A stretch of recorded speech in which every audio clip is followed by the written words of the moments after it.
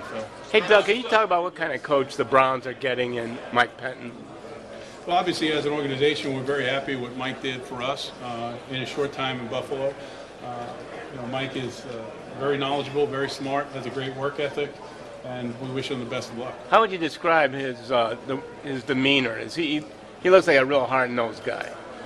I don't know. I, I just respect him. I don't. I don't look to characterize people by you know labeling them in names or anything. So I just think he's a very hard worker. He's very demanding. Uh, knows exactly what he wants and uh, does a good job communicating that with the.